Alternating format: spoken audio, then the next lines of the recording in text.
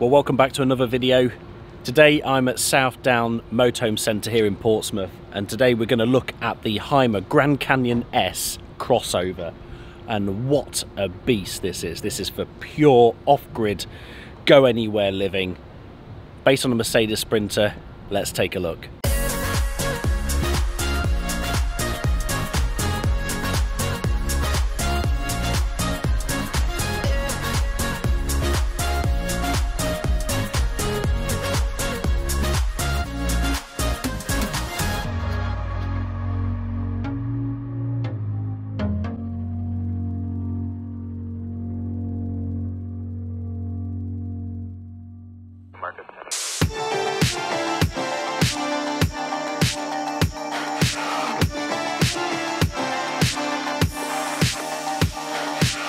So let's take a look at this beast. So, as I said before, Mercedes-Benz Sprinter, quite obviously it's the 4x4 chassis, tackle anything at all. It's a 2.2 litre diesel engine with 190 horsepower, automatic gearbox. At the bottom you can see bash plates underneath to protect the running gear. This means business. Oh, and if you haven't seen uh, the video yet of the Hymer S600, make sure you check that out on our channel. Look at the off-road lights at the top there, light the way, and then uh, hits the ground clearance that just really, really gets me. It looks so cool. This van is spec to the eyeballs as well. Let's work our way down the side. What do you think to the uh, fluorescent stickers on the side? They look smart, don't they? You're on BF Goodrich all-terrain tyres. We used to have these on our California Ocean, and they were pretty beastie. So yeah, and then look at that suspension travel. Fit another tyre in there. it's a monster. Driver's door, and then behind that you've got the habitation door. In the habitation door you've got an opening side window with privacy glass, and I really like this carbon fibre wrap all the way down the side as well, and that continues onto the side flares as well. So it's a slightly slimmer side flare on this side and then a thicker one on the other side. You've got an electric step which you need because it is quite the step up. Climbing into the driver's side is quite the climb up but yeah it's good. Underneath the side flare you've got your water inlet and then above that you can see the wind out awning as well. Moving back you've got a rear view camera right at the top there two opening privacy glass windows right on the back here affixed to these big barn doors. If you open those, it'll give you plenty of ventilation. If you're somewhere that's got a nice view out the back, that'd be very nice. In fact, look, you can see here, look at the side of that side flare there. So that's so much wider than this side. And that's mainly because you obviously have your sliding door on here, so it can't be too wide on that side. More of those decals on the back, really striking looking, and you've even got some like reversing slash work lights on the back here as well that light up. So on the passenger side, Hymer logo at the top there. Like we said about these big side flares on this side, wrapped in that carbon fibre wrap, and then you've got at the bottom here your electrical hookup. Not that you need that when you see what batteries this has got on board. You can be off grid for ages. Then you've got your cassette toilet, uh, cassette access at the back there, and then this is your vent for the Truma boiler as well. So it's an absolute beast, but we all want to have a look inside, so let's go on in.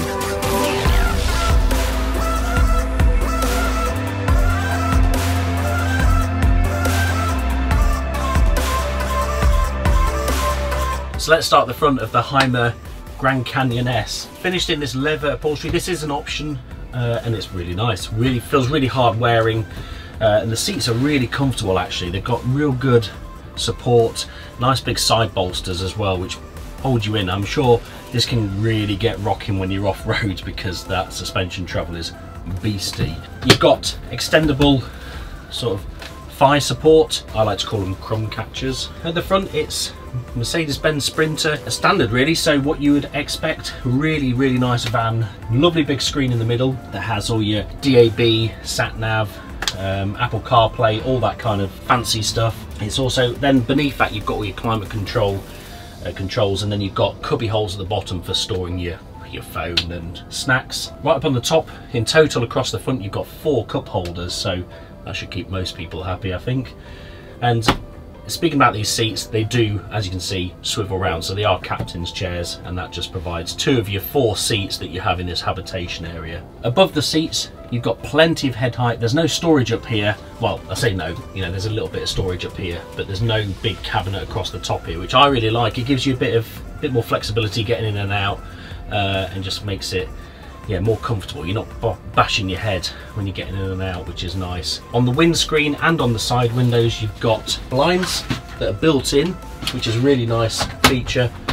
Saves having to unfold fabric blinds. And also if you're off grid, which you're bound to be in this van, it, means you can get a quick getaway without having to take off um, external screens. So that's a really nice touch. And then above the windscreen, you've got your main Hymer display. So this shows you your battery condition, shows you how much water you've got on board, how much wastewater you've got, uh, all integrated into one unit.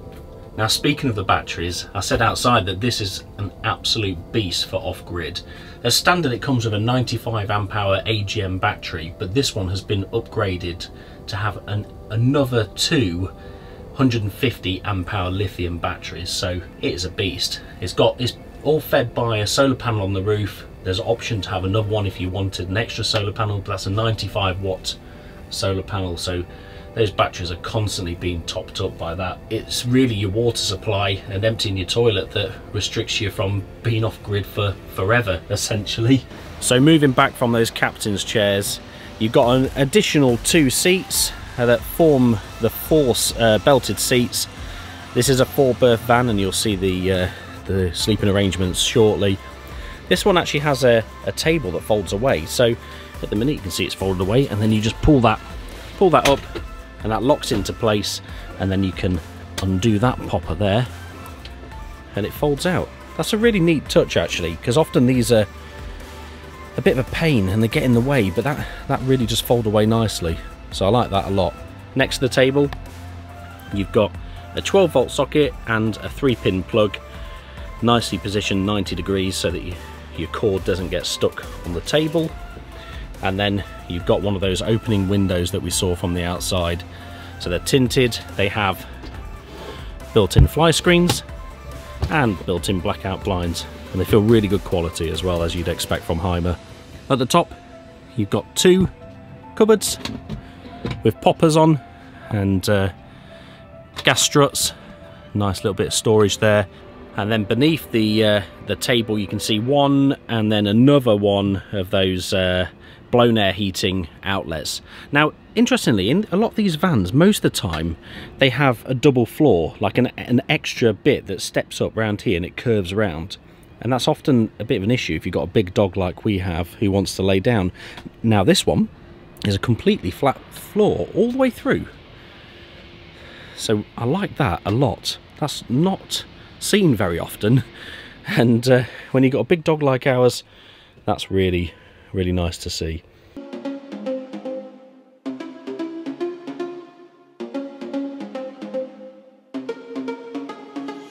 Right, let's have a look at the kitchen. So on the end here, you've got a magazine pocket, and then above that, you've got this one on the side here is the uh, electric step to retract that, one of the light switches and then a three pin plug. And above that you've got a couple of movable hooks as well, so you can put some bags on there. I really like the curve in the um, in the worktop. That's quite a nice feature.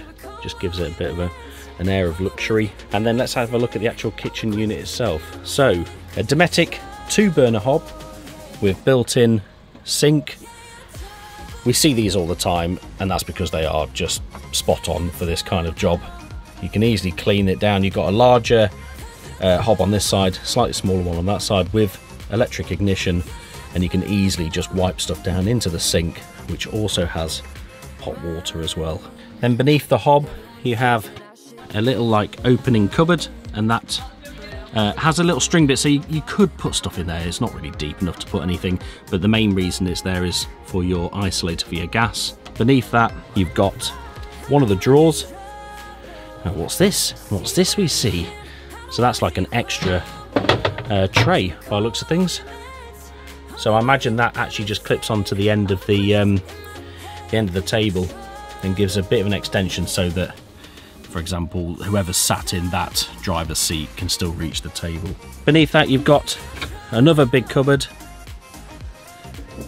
another big drawer should I say and then that is actually false. There's nothing there because on the other side you have the place where you put your gas bottle. Now this gas is only for cooking. So yeah that's where your gas goes in there. So you don't need a big gas bottle. It's literally just for cooking. Whilst I'm on the outside actually I'll just show you you have a, a fly screen that goes all the way across and then another nice feature with the sliding door if I pull this too you actually have soft close. Very fancy. Above the kitchen, you've got a couple of extra cupboards. One there, and then one here. And they're all finished in this, it's probably really dark brown really, rather than actually black. But it's quite nice. It really goes well with the lighter sort of oak colour on the front there. On the end of this one, you've got a couple of hooks, again, that move and then you've got that's for your solar so that's all your um, Votronic Votronic um, solar charge controllers and all that kind of stuff so it shows you what's going on so you've got 100% state of charge and you can see here that you actually even in this relatively overcast day we are actually pulling in 2.2 amps so those batteries are always going to be charged which is spot on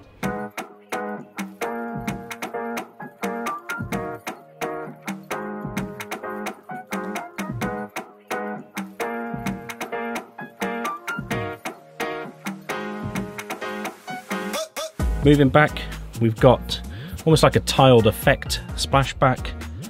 Uh, your controls for your heating and your hot water, so that's all controlled by the Truma system. You've got an extra 3 pin socket and also a 12 volt socket there as well. This little area here is quite nice to have, just a bit of extra storage, maybe when you're prepping your food or yeah, just put stuff on there if you wanted to when you're away camping. You got more of these there's these hooks everywhere. They're really good actually.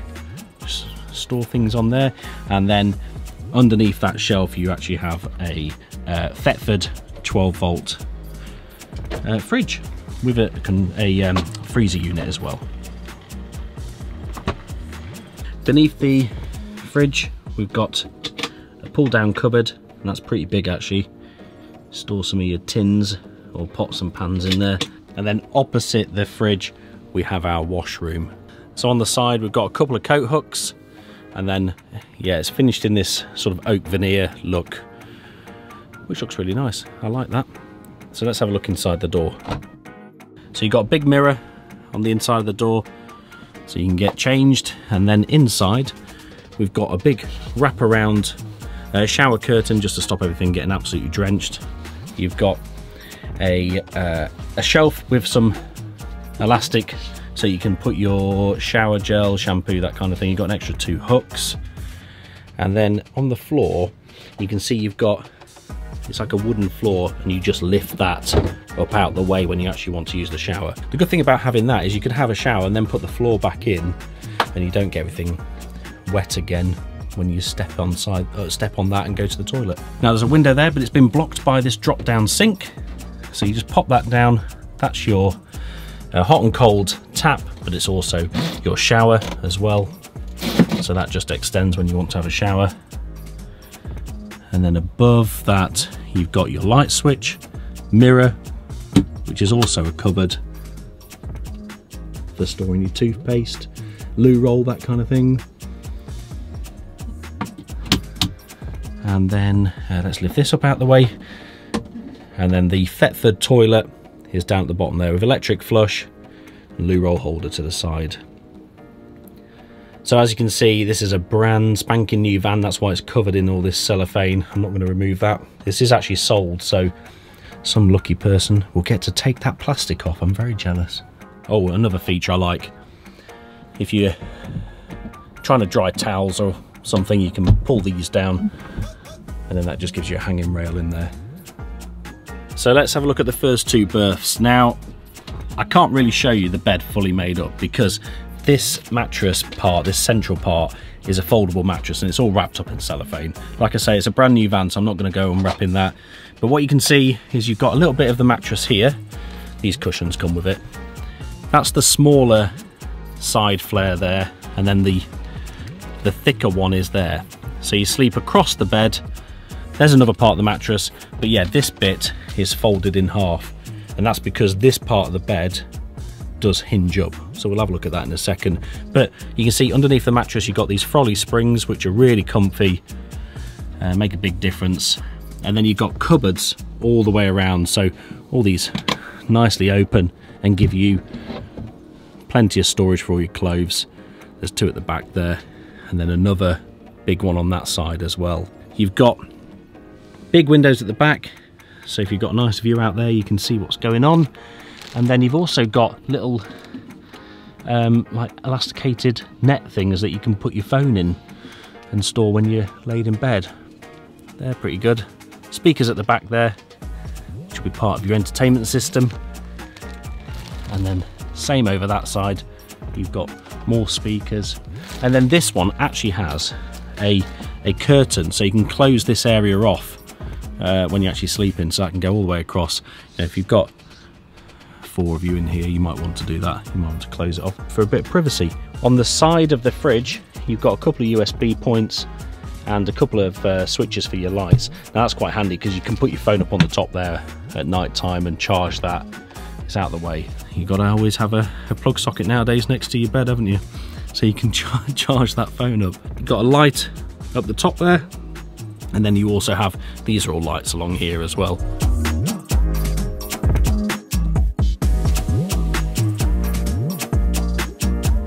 So now what I've done is I've actually lifted the bed up so you can see how this works. So it just has a little elastic bit, a little fabric bit that press studs onto there and holds the bed up. That means you can then store bicycles or um, yeah, I don't know, you could put your kayak in there I suppose and it just gives you a bit more flexibility when you're travelling to store things. But beneath this we actually have a few extra storage areas. So at the front here you've got a drawer and then beneath that you've got a cupboard. Back from that drawer you've got another couple of those elastic uh, holders so you can store things in there. Another outlet for the heater. And then on this side you've got a shelf so you can store bottles in there maybe. And then I don't know if that's another cupboard behind there. I don't think it is actually. But this here is actually an Isabella outdoor table. So that folds up nicely in there this is some of the box of goodies that you get when you buy a, a new van. And look at this one, this is spot on. This is really cool. So what we've got in here, I don't know, what's in there do you reckon? Have a look. What's inside here? Oh, so that's a, oh, it's just a compressor for pumping up the tyres. Maybe when you air down the tyres you could use that for going off-road. But this is exciting, look at this. Got an axe. Whoa. And then what's this one as well? Whoa, look at that. Proper off-road. Loads of goodies in there. Very jealous of the new owner. But we've seen two of the four berths, and I know you're wondering where the other two are.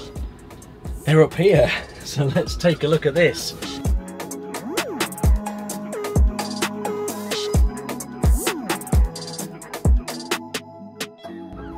First had a look inside the pop top of a Hymer when I filmed the blue one, so check that one out on our on our channel. But what do you think of this? I think this is great. So you just go up the ladder and look at the size of that bed. That is enormous.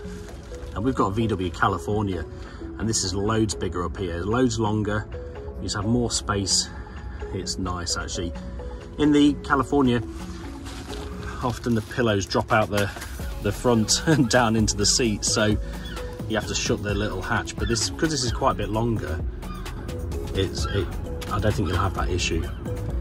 Uh, a couple of windows one there and one there that's uh, zipped up at the minute. You've got another window up at the front here.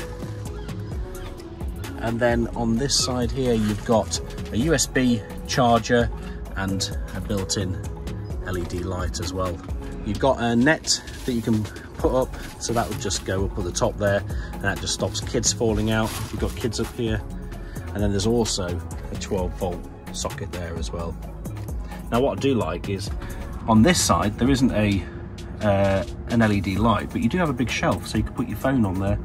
So that's pretty good. But yeah, it's a really big bed.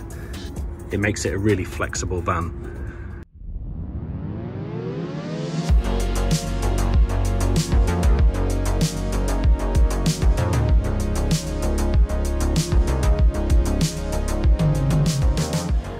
Take a look in in the back. So big barn doors opening these. And let's have a look. So you've got a couple of chairs, outdoor chairs that are stored in there, which is nice. Easy access to them. Nicely finished door cards at the back here. And then I, I wondered actually what this was at first, but I've just worked it out. So in this box, where you've got axes and things like that, they will all be stored inside this. So you've got an axe, uh, space for your axe, you've got space for the little chop saw thingy, garden saw. so yeah, that'll look cool when that's all mounted on there. Very, very cool.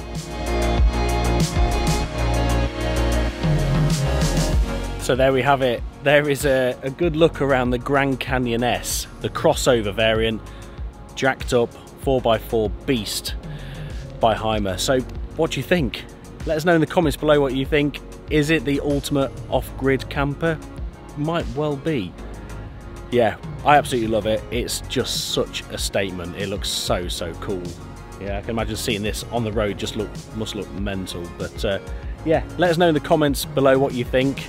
Huge thank you to South Downs Motorhome Centre for letting us look and also just setting it up so well for us in this area. It's been really, really good to come here and film, nice and quiet, apart from the seagulls. If you're interested in one, check out the link in the description below.